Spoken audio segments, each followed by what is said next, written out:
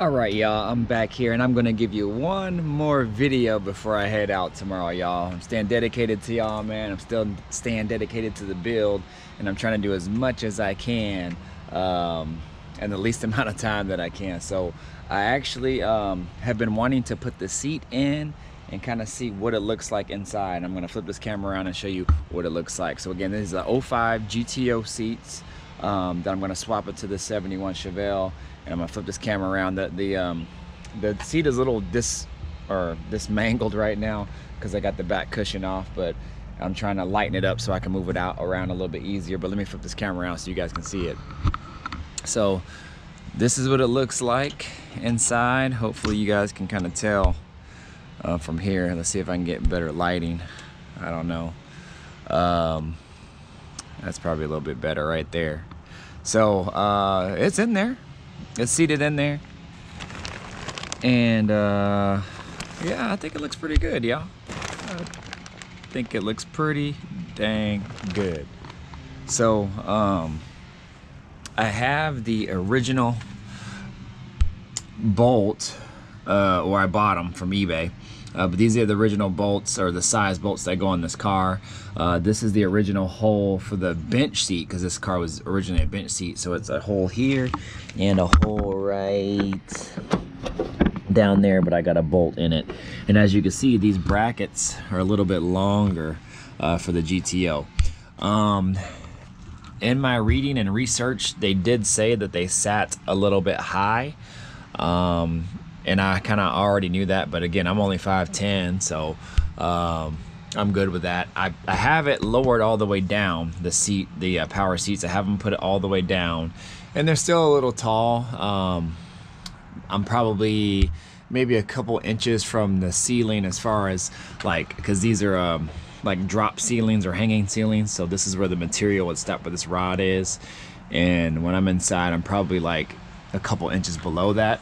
So I have some headroom, but they are a little tall. The only remedy, or the only way that I could probably fix that is, as you can see, these brackets here uh, come to like a almost a 90 degree bend, if you guys can kind of see that. I have towels there so I don't scratch the floor. But the only thing I can really do possibly is if you can see that mounting hole there I was gonna put a bracket behind it and then make a bend and then put a hole down here so it could bolt to the floor.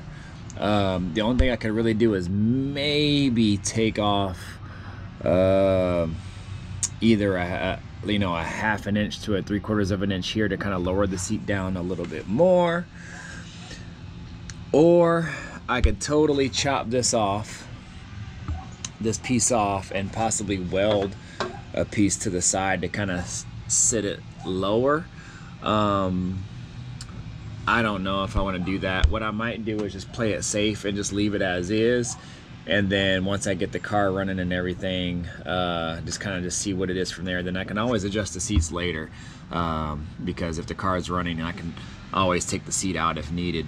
Um, the seat will probably set a little bit higher um, probably be when the carpet is in but uh, we'll see. But I wanted to give you guys a visual of kind of what it looked like. So what I'm gonna have to do is bolt it to the floor here on this side. What I'm probably gonna do is get some riv nuts and put those in there. But let me go ahead and sit inside it so you guys can kind of get more of a view of what it looks like. Sorry it is so dark in here but um, I got the, the console just kind of just temporarily mocked up so you guys can kind of get a visual and so I can get a visual of what everything is like. But um, yeah, I have it all the way back. I wouldn't be necessarily sitting this far back because uh, the pedal's right, you know, I'd have to get the pedal down further to the floor in order to drive it. But um, all in all, it's pretty good. The steering wheel is not directly uh, center. Is probably off to the left a little bit from where the seat is mounted over. Probably about mm, maybe about an inch two at the most but probably about an inch over to the left. I don't know if that's really gonna bug me or not. Um, honestly, I haven't really even noticed in my cars if I'm pretty much centered in the center. Um, I don't know. We'll see. I'll kind of have to just get a good feel for it.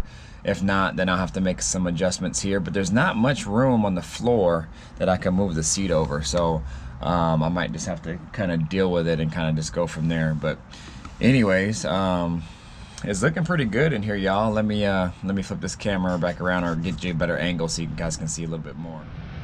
But yeah, yeah, I gotta make this quick because my battery's about to die. But uh, she is in there. I mean, for the most part, I'm pretty excited about that. That looks pretty damn good. Um, so yeah, I mean, I could probably move the seat over just a little bit, but as you can see right here, I don't have much room.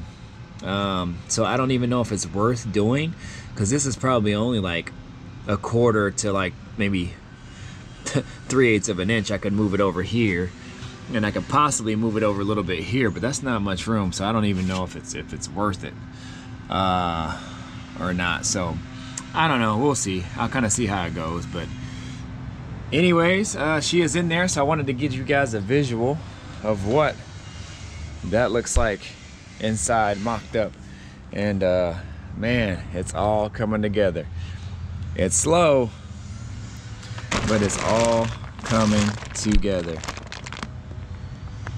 so yeah y'all stay tuned for more 6.0 LSX 71 Chevelle build coming at you all right I'm out tomorrow I'm heading to Mexico and I am gonna film a video in Mexico and I'm not gonna say what it is just yet. It's gonna be a surprise for everybody out there, all the subscribers.